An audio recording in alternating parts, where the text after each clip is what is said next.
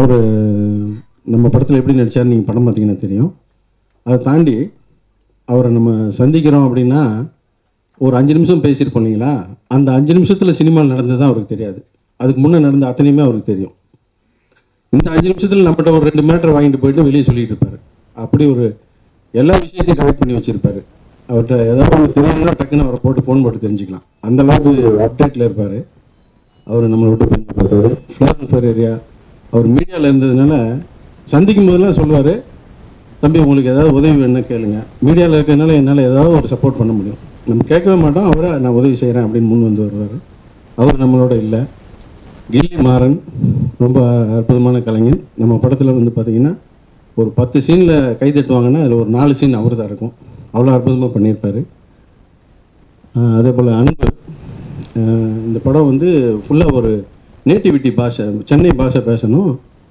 அது பக்காவாக தான் படமே நிற்கும் ஏன்னா படம் வந்து இயல்பாக எடுத்து வச்சுருக்கிறோம்.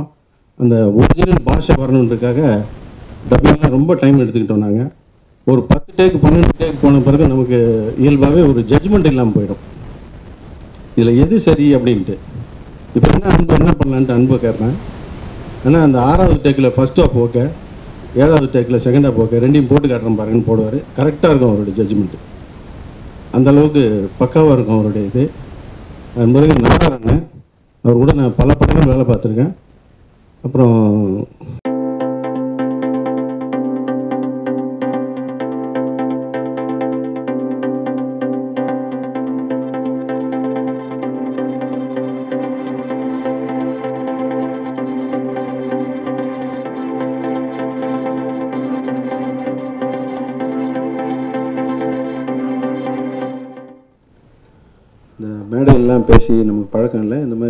எதுவும் பழக்கம் இல்லை இந்த நிகழ்ச்சிக்கு வந்து யாரையும் நாங்கள் சீஃப் கெஸ்ட் அப்படின்னு சொல்லி யாரையுமே கூப்பிடல. இந்த சீஃப் கெஸ்ட் நினைக்கிறோம் எல்லாருமே ஏதோ ஒரு வகையில் இந்த படத்துக்கு தொடர்புடையவங்க தான். படத்தில் நடிச்சிருப்பாங்க அல்லது படத்தில் ஒர்க் பண்ணியிருப்பாங்க அல்லது நிறைய ஆலோசனைகளை கொடுத்துருப்பாங்க. நிறைய அந்த மாதிரி உதவி செஞ்சவங்க தான் கூப்பிட்ருக்கோம் வெளியிலேருந்து யாரையுமே கூப்பிடல. வெளியிலேருந்து யாரையா கூப்பிட்டா அவங்க வந்து நம்ம பார்த்துருக்கோம் நிறையா. வேறு வழியே இல்லாமல் இந்த ட்ரைலர் நல்லா இருக்குன்னு சொல்லணும். மியூசிக் நல்லா இருக்குன்னு சொல்லணும். சில பேர் போய் காரில் ஏறிட்டு திரும்பி வந்ததெல்லாம் விழாநாயகன் இசையமைப்பாளர் எங்கப்பா? மாணிக்கம்மா பேர். நல்லா இசையமைச்சிருந்தாருன்னு சொல்லிட்டு போகிறதெல்லாம் பார்த்துருக்கோம். அந்த மாதிரி தர்ம சங்கடத்தை யாரும் கொடுக்கூடாதுன்றனால நம்மளை நம்மளே பாராட்டிக்கணும்னு சொல்லி முடிவு பண்ணி பண்ணிட்டோம். இதில் ஏதாவது தவறு இருந்தால் மன்னிச்சுக்கோங்க. சரியாக இருந்தாலும் பரவாயில்ல தவறாக இருந்தால் ஒரு மீன் போட போகிறீங்க சரி அதுவும் ரீச் தான். ரீச் முக்கியம் இல்லையா? இதில் இப்போது முதல்ல மேடைக்கு தயாரிப்பாளர் ஆதம் பாபா அவர்களை கூப்பிட்றேன். சிவா படத்தில் நாங்கள் டைட்டில் கார்டில் போட்டதுன்னு சொல்கிறோம் நம்ம வாயால் சொல்ல மனசால நாங்கள் சொல்கிறோம் இந்த சென்னை மக்களுடைய பாரம்பரிய நடனம் பாரம்பரிய இசை அப்படின்னு இருக்குது கான படங்கள். சென்னைக்கு ஒரு டான்ஸ் இருக்கும் ஒரு அந்த கானா கலைஞர்களை பாரம்பரியமாக பாடி வந்த கானா கலைஞர்களையும் இப்போவும் பாடிக்கிட்டு இருக்கவங்களையும் இனி பாட போகிறவங்களையும் நாங்கள் எல்லோரையும் நன்றியோடு பார்க்குறோம் நாங்களும் சில கானா பாடல்கள் அதிலேருந்து எடுத்துக்கிட்டதை நாங்கள் பெருமையாக நினைக்கிறோம். அந்த கா நாட நடன நடிகர்கள் இந்த படத்தில் நடிச்சிருக்காங்க பாருங்கள் டான்சர்ஸு இந்த இந்த டான்ஸ் நீங்கள் வேறு எந்த படத்துலையும் பார்த்துருக்க மாட்டீங்க. ரோட்டில் வேணால் பார்த்துருப்பீங்க படத்தில் பார்த்துருக்க மாட்டீங்க. ரொம்ப அற்புதமான ஆட்களை நாங்கள் செலக்ட் பண்ணி போட்டிருந்தோம். பாரம்பரியமாக அதை காப்பாற்றிட்டு வந்த அந்த கலைஞர்களுக்கும் நன்றியை தெரிவிச்சுக்கிறோம். அப்புறம் பட்டினப்பாக்கம் பகுதியில் நாங்கள் படப்பிடிப்பு நடத்தினோம். அந்த பகுதியெல்லாம் படம் பிடிக்கிறது ரொம்ப கஷ்டம் அப்படின்னு சொல்லுவாங்க. நாங்கள் எங்களுக்கு நிறைய ஒத்துழைப்பு கொடுத்த அந்த பட்டினப்பாக்கம் சீனிவாசபுரம் மக்களுக்கும் பட்டினப்பாக்கம் ஜெயராமன் அவர்களுக்கும் நன்றியை தெரிவிச்சுக்கிறோம். அடுத்து படத்தில் ஒரு கதை ஒன்று பயன்படுத்தியிருக்கிறோம். அது தென்கட்சி சுவாமிநாதன் ஐயா சொன்ன ஒரு கதையுடைய இன்னொரு வடிவத்தை நான் சொல்லியிருக்கேன். என்ன இருந்தாலும் யாருக்கான உரிமையோ அவருக்கு அந்த பெருமை போய் சேரணுன்றக்காக அதை சொல்கிறேன்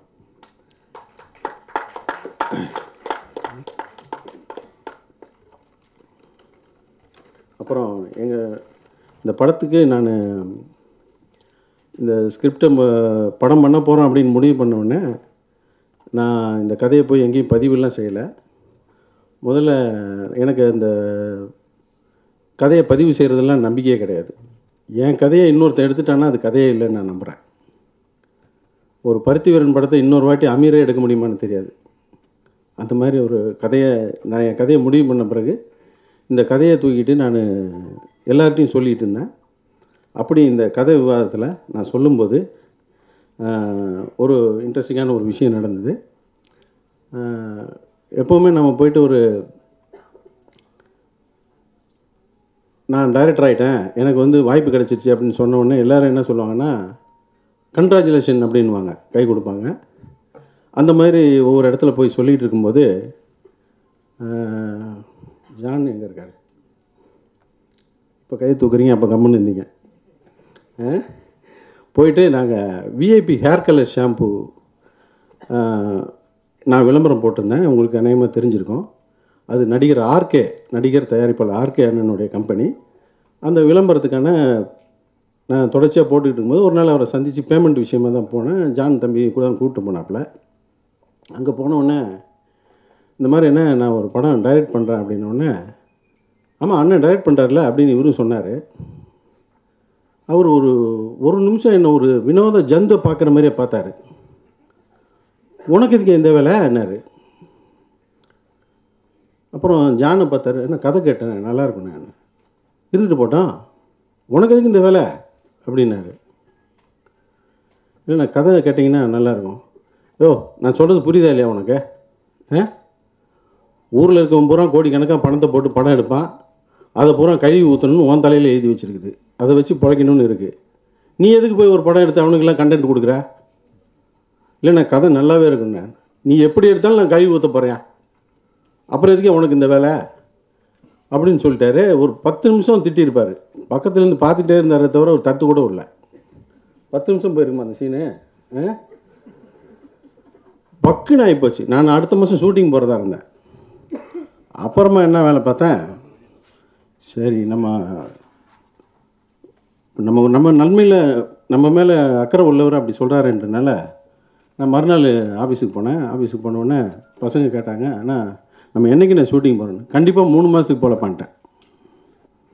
கதையை சரியாக நம்ம ஃபைன் டியூன் பண்ணிட்டு போகலன்னா நம்மளை பிறந்துருவானுங்க அப்படின்ட்டு அதுக்கு பிறகு நான் நிறைய பேரை பார்த்து கதை சொல்ல ஆரம்பித்தேன் அதில் தயாரிப்பாளர் மோகன் நடராஜன் சார் நான் அவர்கிட்ட வேலை பார்த்தேன்.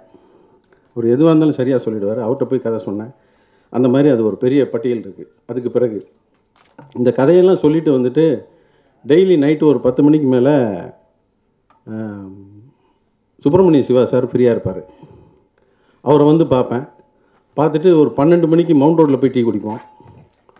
ஒரு ரெண்டு மணிக்கு பீச்சில் போய் டீ குடிப்போம். நாலு மணிக்கு வேறு எங்கேயும் டீ கிடைக்காது. கோயம்பேடு பஸ் ஸ்டாண்டில் தான் கிடைக்கும். அங்கே வந்து குடிப்போம். இன்றைக்கி யார் யாரை பார்த்தேன்? யார் யாரை பார்க்கணும்? ஒரு லிஸ்ட்டு சொல்லுவேன். என்ன சொன்னாங்கன்றதையும் சொல்லுவேன். அந்த மாதிரி ஒரு பொறுமைசாலியை நான் பார்த்தது கிடையாது. கேட்டு கூடயே சுற்றிட்டு இருப்பார். ஒரு நாள் நான் எல்லார்ட்டையும் கதை சொல்லிட்டேன். நமக்கு தெரிஞ்ச சர்க்கிள் எல்லாத்துலேயும். கதையை சொல்லிவிட்டு ஒரு நாள் நான் அவர்கிட்ட கேட்குறேன் சார் வேறு யார்கிட்ட கதை சொல்ல வேண்டியிருக்கா சார் உங்கள் சர்க்கிள்னு? சார் அவர் ட- அவர் டைமிங்கே இப்படி தான் இருக்கும். சார் குழந்தைய குளிப்பாட்டி அழகுபடுத்துறதுன்னு ஒன்று இருக்குது குழந்தைய குளிப்பாட்டி குளிப்பாட்டி கொள்றதுன்னு ஒன்று இருக்குது குளிப்பாட்டி குளிப்பாட்டி கொண்டுறாதீங்க சார் அப்படின்னாரு. அதுக்கப்புறம் தான் நான் அந்த டிஸ்கஷன் நிறுத்திட்டு ஷூட்டிங்கை பற்றி பிளான் பண்ண ஆரம்பித்தேன் இந்த படத்தை ஷூட்டிங்கை தள்ளி போட்டதில் பெரும் பெருமை நடிகர் ஆர்கே அண்ணனுக்கு சேரும். இந்த படம் இனி ஷூட்டிங் போகலான்ற முடிவு எடுத்தவர் சுப்பிரமணிய சிவா சார் தான். அவருக்கும் நன்றி தெரிவிச்சுக்கிறேன். நான் ஜின்னா சார்கிட்ட வேலை பார்த்தேன். தயாரிப்பாளர் ஜின்னா கிட்ட. அவர் சார் வர முடியல இன்றைக்கி அவருக்கு நன்றி. Dhananjayan sir MS Murugaraj Chezhiyan sir director Lenin Bharathi director Rajamurugan director Arun Prabhu A Venkatesh Vikram Sukumaran Rajmohan Surendran ஒளிப்பதிவாளர் ரவிவர்மன் விஜயகோபால் மரியா மனோகர் சாரி அது Arun Bharathi A art director Kathir Aadhavan Arokiya Arokiyaraj அவர் வந்திருக்கார் என் நண்பர் பழைய நண்பர். சவுக்கு சங்கர் பத்திரிகையாளர் மணிஜி இணை இயக்குனர்கள் வந்து உமாபதி ஜெய் கார்த்தி சந்திரகாந்த் ராஜா குரப்பா அப்புறம் எங்கள் சர்க்கிளில் யூடியூபர்ஸில் it is Prasanth RJ Vigneshkanth selfie Karthi Vijay TV Thomson RJ Sha இவங்க எல்லாரையும் பாடுபடுத்தியிருக்கிறேன் இப்படி. இவங்க எல்லாருக்குமே இந்த சமயத்தில் நன்றி. இவங்களுடைய எல்லாருடைய இன்புட்டும் சேர்ந்து தான் இந்த படம் ஒரு படமாக வந்திருக்குது. இது நான் இவங்க எல்லாருக்கும் நன்றி சொல்கிறதுக்காக இவ்வளோ பேசிட்டேன். இப்போ முதல்ல வரவேற்று தயாரிப்பாளர் பா ஆதம் பாபா அவர்கள் பேசுவார். இருக்கும் அனைவருக்கும் இறைவன் புறத்திலிருந்து சாந்தியும் சமாதானமும் உண்டாகட்டும். இந்த ஆன்டி இந்தியன் திரைப்பட முன்னோட்ட விழாவிற்கு வருகை தந்த உங்கள் அனைவரையும் வருக வருக என்று வரவேற்கிறேன். நிகழ்ச்சியினுடைய இறுதி பகுதியில் நிறைவாக பேசலாம். நன்றி.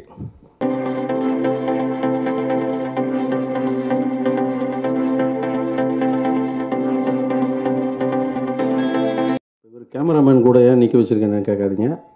அவர் என்ன அவர் கேமராமேனு அவருக்கும் தெரியல எனக்கும் தெரியல. பல சமயங்களில் அவர் தான் ஷார்ட் கட்டே சொல்லுவார். நான் போயிட்டு என்ன பண்ணுவேன்னா நடிகருங்க நடிச்சுக்கிட்டு இருந்தாங்கன்னா கேமரா இந்த பக்கம் இருந்தால் நடிகர் இந்த பக்கம் நடிச்சிருந்தா நான் வியூ பாயிண்டில் மாட்டாமல் ஓரமாக நின்று அவங்க நடிக்கிறத மட்டும்தான் பார்த்துக்கிட்டு இருப்பேன். இவங்க நடிக்கிறது இயல்பாக இருக்கா? கூடவாக இருக்கா? குறைவாக இருக்கா? டைலாக் மாடுலேஷன் கரெக்டாக இருக்கா? அதை மட்டும்தான் பார்ப்பேன். ஸ்டார்ட் கட்டு சொல்ல மாட்டேன். நீங்களே சொல்லிக்கிங்க கதிரவன்வேன் அது சரியாக இருந்தால் மானிட்டர் கூட பார்க்க மாட்டேன். ஓகேன்ட்டுருவேன் மா மானிட்டரில் கூட என் தம்பி அல்தாஃப் தான் உட்காந்துருப்பான் அந்த அளவுக்கு எனக்கு வந்து கதிரவனே எல்லாமே எல்லா வேலையும் பார்த்துருவார். மற்ற விஷயங்களை அவர் பேசுவார். அப்புறம் சிவா. சிவா இல்லைன்னா இங்கே எங்களுக்கு பொழுதே போகாது. அதாவது இந்த வடிவேல் ஒரு படத்தில் சொல்லுவார் இல்லைங்களா?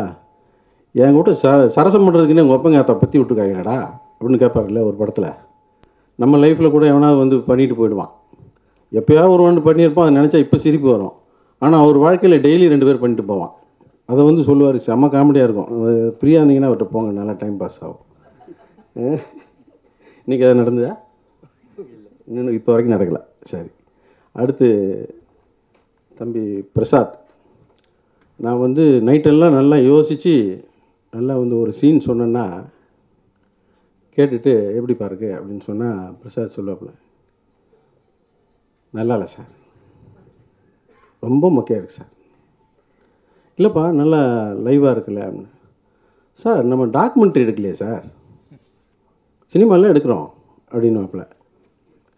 நீங்கள் அதை அப்படியே எடுத்துகிட்டு அதுக்கு மேலே டப் நீங்கள் டப் பண்ணீங்கன்னு வச்சிங்களேன் நீ எல்லாம் ஒரு டைரக்டராடா படமாட எடுக்கிற. கரெக்டாக உட்கார சிங் பண்ணிங்கன்னா. அந்த மாதிரியே இருக்கும். அந்த மாடுலேஷனில் இப்போ சொல்லுவாப்புல. அப்படியே திரும்பி அச்சுவை பார்த்தோன்னா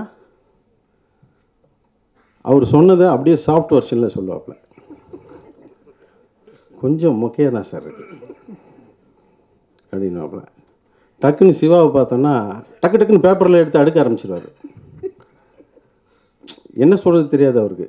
ஏஞ்சி போயிடுவார். அப்புறமா நான் தனியாக இருக்கும்போது சொல்லுவார் சார் பசங்க எது சொன்னாலும் நம்ம நல்லது தான் சார் சொல்கிறானுங்க ஆ? அப்படின்வாரு இப்போ மூணு பேருமே சேர்ந்து ஒரே விஷயத்தை தான் வேறு வேறு மாடுலேஷன் சொல்லுவாங்க.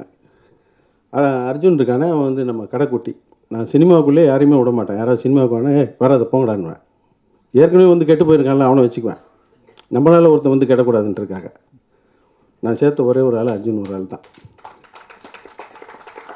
அவன் வந்து ரெசியூமை கொடுத்துட்டான் என்னை பார்க்குறான். முத முதல்ல இப்போ மீசெல்லாம் முளைச்சிருச்சு அவனுக்கு சின்ன பையன். ஏய் எதுக்குடா சினிமாவுக்கு வந்தேன்னு கேட்டேன். சினிமா இன்ட்ரெஸ்ட் சார் உங்கள் வீட்டில் விடுவாங்களாடாண்ணே வீட்டில் தான் சார் அனுப்புனாங்க அண்ணா அது என்னடா புது குடும்பம்? ஆமாம் சார் விஸ்காம் படிச்சிருக்கேண்ணா. ஓ அதை நான் ரிசீவ் பார்க்கல. பார்த்தா அவனுக்கு எல்லாமே தெரியும். எங்களுக்கு தான் எல்லாம் தெரியாது. அவனுக்கு எல்லாமே தெரியும். விஸ்காம் படிச்சிருக்கான்ல. இங்கே வந்து இன்னும் நல்லா பழகிட்டான். இன்னும் சில தம்பிங்க இருக்காங்க. எங்களுக்கு ஸ்பாட்டில் ஒர்க் பண்ணவங்க. காமராஜ் ஹரி கௌதம் வெற்றிவேல் ராஜ்குமார். எங்கள் படத்தில் எப்போவுமே ஒரு மினிமம் ஒரு நூற்றம்பது பேர் க்ரௌடு படத்தில்.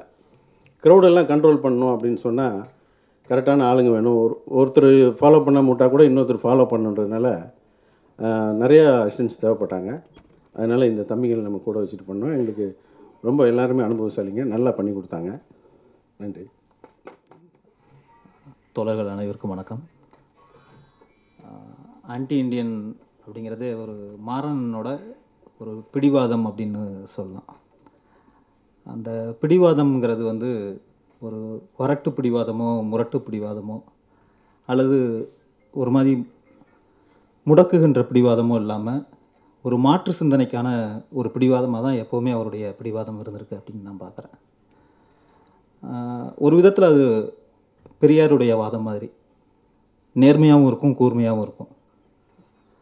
அந்த மாதிரி தான் அவரோட எல்லா விதமான மாற்ற வாற்ற வாதங்களுமே இந்த மாதிரி தான் இருக்கும்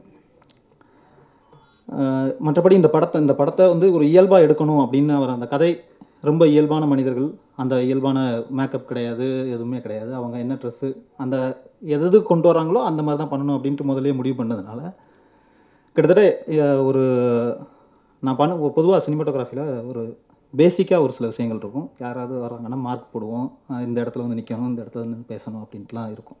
ஆனால் இந்த பட இந்த படத்தில் அப்படி எந்த விதமான யாரையும் இங்கே வந்து நின்று பேசுங்க இங்கே வந்து நிற்கணும் அல்லது எந்த இடத்துல நிற்கணும் அப்படிங்கிற எந்த விதமான இதுவும் கொடுக்கல.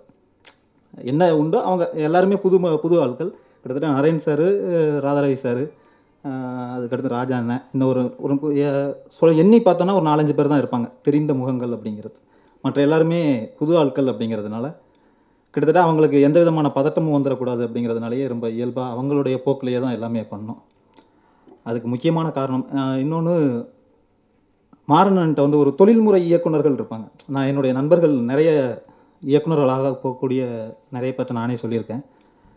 ஒரு உதவி இயக்குனராக இருந்து துணை இயக்குனராக இருந்து இயக்குனராக ஆனால் அவங்கள்ட்டலாம் இல்லாத ஒரு குணாதிசயம் வந்து மாறனன்ட்ட உண்டு. என்னென்னா நாங்கள் ஒரு ஸ்கெடியூல் போகிறோம் அப்படின்னா அந்த ஸ்கெடியூலுக்கு முன்னாடி எத்தனை சீன் இருக்கோ அது எல்லாத்தையுமே ஒரு நாலஞ்சு நாளைக்கு முன்னாடி சிவாலேருந்து எல்லா அந்த உதவி இயக்குனர்கள் எல்லாருமே ஒவ்வொருத்தரும் சத்தம் போட்டு படிச்சுக்கிட்டே இருப்பாங்க. கண்டினியூவாக ஒரு நாலஞ்சு நாள் ஒவ்வொரு எல்லா சீனையுமே தொடர்ந்து படிப்பாங்க. அதில் என்ன ஆகுன்னா அந்த இம்ப்ரூவைஸ் ஆகுது அப்படிங்கிறத தாண்டி அந்த காட்சிகளை பற்றின தெளிவு எல்லார்ட்டையுமே இருக்கும். ஒவ்வொரு உதவி இயக்குனர் முதற்கொண்டு இப்போ மாறணுன்னா நான் யார் இல்லாட்டா கூட அந்த காட்சி எடுக்க முடியும். அந்த அளவுக்கு எல்லாருமே தெளிவாக இருப்பாங்க. அந்த விஷயத்தை வந்து அது கிட்டத்தட்ட எல்லாரும் அது அதனால மட்டும்தான். எத்தனை நாள் எடுத்தோம்னு இல்லையா? அந்த அது அந்த ஒரு தெளிவு இருந்ததுனால மட்டும்தான் கிட்டத்தட்ட இந்த படத்தை வந்து பதினெட்டு நாள் இருபத்தி மூணு கால் சீட்டில் முடித்தோம் அதுக்கு முக்கியமான காரணம் மாறனுடைய மிக மிக தெளிவான திட்டமிடல்.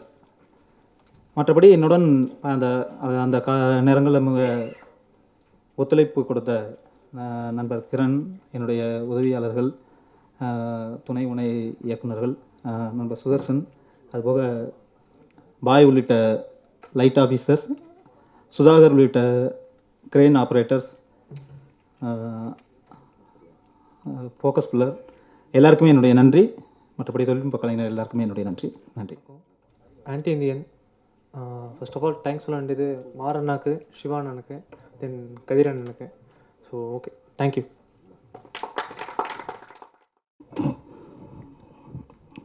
எல்லாருக்கும் வணக்கம். மேடையில் இருக்கிறவங்க ப்ரெஸ்ஸு மற்ற எல்லாருக்கும். மாறன் அவர்களை பார்க்கும்போது எனக்கு இந்த இமான் அண்ணாச்சி நடத்துகிறாரு பாருங்கள் ஒரு குழந்தைங்க ப்ரோக்ராம் அதில் பயங்கரமாக ஒரு ரவுடியாக அவர் ஒரு குழந்தை வந்து சொல்லு சொல்லு அப்படின்ற மாதிரி.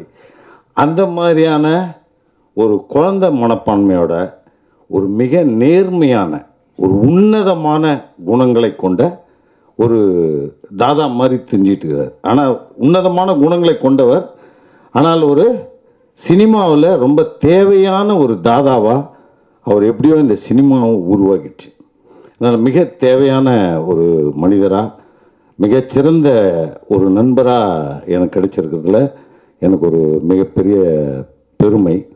அதுவும் இந்த படத்தில் நான் நடித்தது அதை விட ஒரு சிறந்த பெருமை.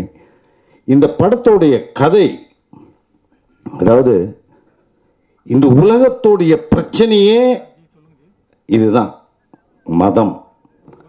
அதை எப்படி வந்து மதம் வந்து மனிதனுடைய வாழ்க்கையில் அவனுக்கு அது தேவைப்படுதா இல்லை தேவைப்படலையா? எந்த மாதிரியெல்லாம் ஒரு மதம் வந்து ஒரு மனிதனை வைத்திருக்கிறது ஒரு சமூகத்தை உருவாக்கி இருக்குது அப்படிங்கிற ஒரு கதை. இதுதான் ஒரு மிகச்சிறந்த ஒரு இயக்குனர் இந்த காலகட்டத்துக்கு ஒரு சமூகத்துக்காக ஒரு படம் படைக்கணும்னா அவன் இப்படிப்பட்ட கதைகளை மட்டுமே தேர்ந்தெடுப்பது தான் அதாவது எந்த நோய் ஒரு சமூகத்தில் அதிகமாக இருக்குதோ அதற்கான மருத்துவம் பார்க்கறது தான் ஒரு மருத்துவர்களுடைய ஒரு வேலை அப்படிங்கிற மாதிரி. கலைஞர்களுடைய வேலை அப்படிங்கும்போது நாம் இந்த சமூகத்தை உற்று நோக்குவது. இந்த உற்று இந்த சமூகத்தை உற்று நோக்கும்போது இந்த சமூகத்தில் இருக்கிற நோய் எது? ஏன் இந்த சமூகம் இவ்வளவு வீழ்ந்து கிடக்குது? அப்போ அதை நிவர்த்தி செய்கிற மாதிரியான ஒரு கதையை அவர் எடுத்ததே எனக்கு ஒரு மகத்தான ஏ அந்த அளவுக்கு அவர் இருக்கிறவர். யார்கிட்ட வேணுமா ஒரு கால் ஷீட் வாங்கலாம். ஏதோ ஒரு கமர்ஷியலான ஒரு ஃபைட்டு நாலு சாங்கை வச்சு ஒரு ரெண்டு காமெடியை வச்சு ஒரு பெரிய வெற்றி அப்படின்னு சொல்லுகிற ஒரு படங்களை அவரால் எடுத்திருக்க முடியும். ஆனால் அவருடைய ஜீன்லேயே அவருடைய நிறம் பார்த்தா நான் சொல்லுவேன் மிக பழமையான ஒரு இந்த மண்ணுடைய விதை ஆகத்தான் இருக்கணும். அவருடைய ஆளுமையும் சரி அவருடைய மொழியும் அவருடைய எல்லா எண்ணமும் பார்த்தீங்கன்னாவே ஒரு இந்த மண்ணுடைய ஒரு ஆதி விதையா அப்படிப்பட்ட ஒரு மனிதனோட எனக்கு ஒரு சிறந்த நட்பு இந்த திரைப்படம் ஏற்படுத்தியது. அதற்காக அவரே சொல்லிட்டாரு. எனக்கு என்னுடைய கதைகளை நான் வந்து இலவசமாக எத்தனையோ பேர் எடுத்திருக்காங்க. சும்மா சொல்ல விடுங்க இது ஒரு கதைங்களா? அப்படின்னு நானே அந்த எண்டில் சொல்லிடுவேன். இதெல்லாம் ஒரு சாதாரணமாக யோசித்தா வர்ற கதை தானே சார்ன்ட்டு. அப்புறம் பார்த்தா அது ஒரு படமாக வந்திருக்கும். சரி அந்த டைமில் நம்ம ஒரு டர்ட்டி பிக்சர் கூட அப்படிப்பட்ட என்னுடைய ஒரு பேட்டி தான் அந்த கதையும். இது இருக்கு இல்லை மகாநடிகன் கூட நான் வந்து அதுக்கு முன்னாடி குமுகத்தில் அந்த கதையை பற்றி விரிவாக எழுதினேன். அப்புறம் அவர் ரஜினிகாந்த் அவர்களுடைய வேண்டுகோளின்படி அந்த நேரத்தில் அந்த படத்தை நான் செய்யலை. அதனால் அந்த கதையை சொன்ன உடனே பார்த்தீங்கன்னா அது சத்யராஜ் அவர்கள் ஒரு இது அந்த மாதிரி. ஆனால் அப்படித்தான் நான் வந்து இவர்கிட்ட ஒரு கதையை சொன்னேன். அவர் போகிற போக்கில் அதை எடுத்துக்கிட்டு அடுத்த வருஷம் பண்ணியிருந்தா கூட நான் ஒன்றும் கேட்க மாட்டேன். ஆனாலும் அதுக்கு ஒரு ரொம்ப சிறப்பாக இருக்குது இந்த கதையை நான் எடுத்துக்கிறேன் அப்படின்னு சொல்லிட்டு இந்த ரைட்ஸை எடுத்துக்கிட்டு என்னை இந்த கொரோனா பீரியடில் ஒரு பெரிய ஒரு பாதுகாப்பாக இருந்தது அதனுடைய நிதி.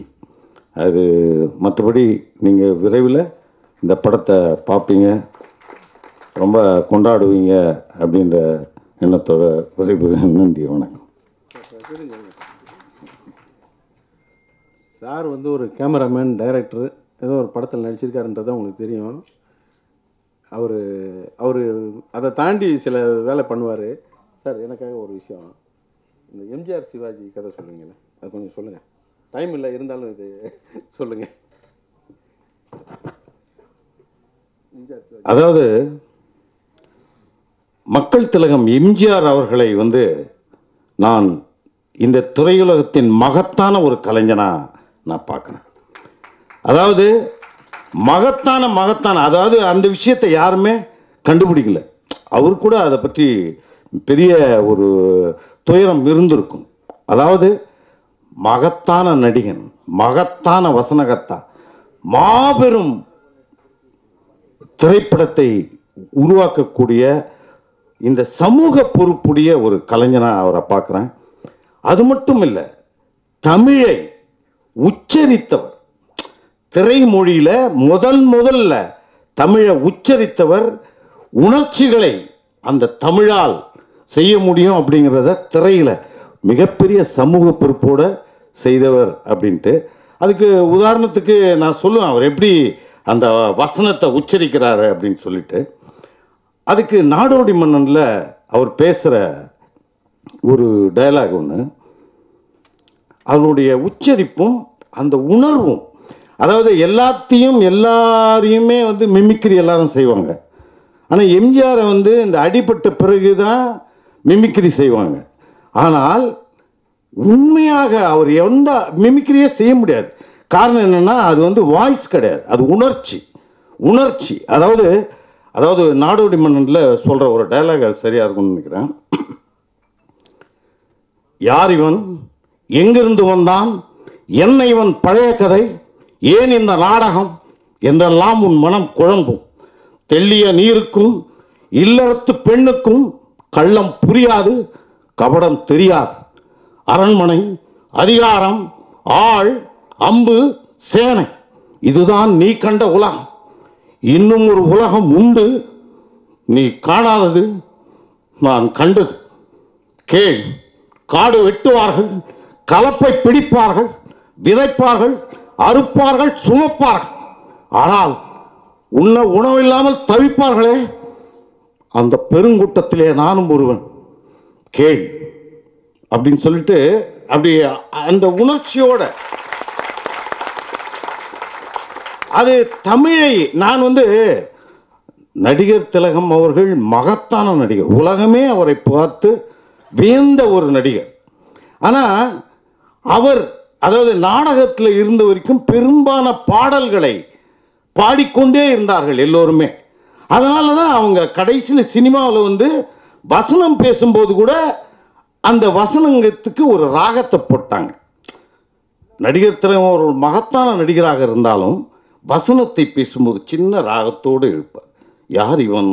எங்கிருந்து வந்தான்? என்ன இவன்? பழைய கதை என்றெல்லாம் அப்படின்ற மாதிரி ஒரு டியூனோடு இருக்கும். ஆனால் அதை மொழியாக அதை உணர்ச்சியாக மாற்றியது மக்கள் திலகம் அவர்கள் என்பதை இந்த நேரத்திலே பதிவு செய்கிறேன்.